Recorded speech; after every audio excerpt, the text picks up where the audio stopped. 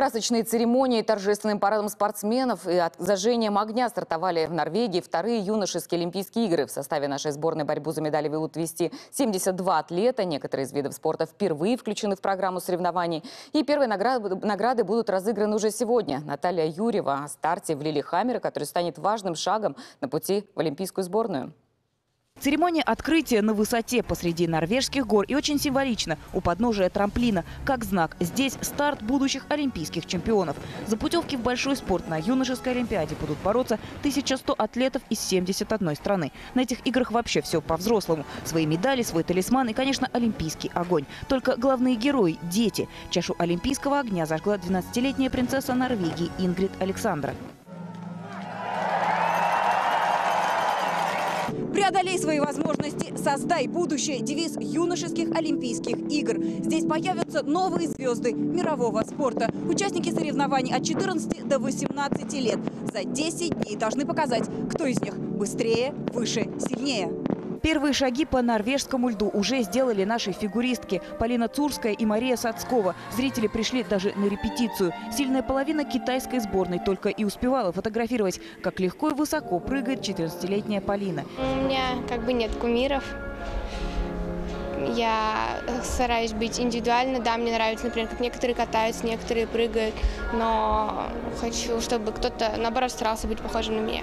За нами Россия, за нами страна! Мы верим в победу, мы верим в себя! Последние напутственные слова перед стартами от президента Олимпийского комитета России Александра Жукова. На этих соревнованиях, по его словам, особый интерес к дисциплинам, которые впервые представлены на Олимпийских играх. А в Лилихаммере будет а, испробован монобоб, то есть один человек а, в бобслее.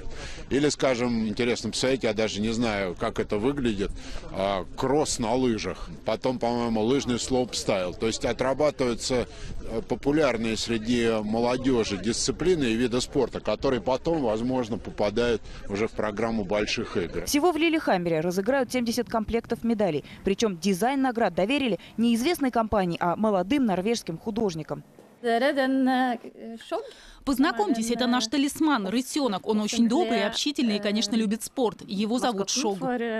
Шок в переводе с норвежского «снежок». В конкурсе на создание талисмана юношеская олимпиада победила 18-летняя жительница Лилихаммера. Этот норвежский город особенный в истории российского биатлона, уверен член нашей юношеской сборной Егор Тутмин. Конечно, это большая честь для меня выступать здесь, на этой земле, на этой трассе.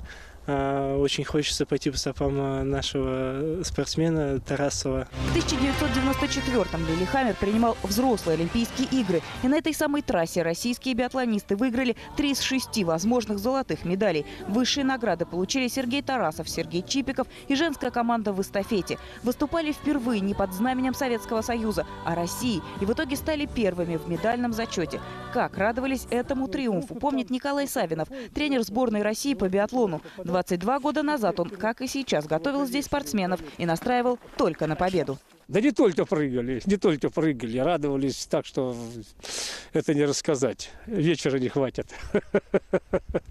Было очень здорово. Конечно, хотелось бы повторить бы это все. Хотелось бы повторить, хотя вот э, с нашими молодыми спортсменами. Посмотрим. Кто вернется домой победителем, узнаем совсем скоро. Первые медали разыграют уже сегодня. Наталья Юрьева, Андрей Лесных, Первый канал, Норвегия.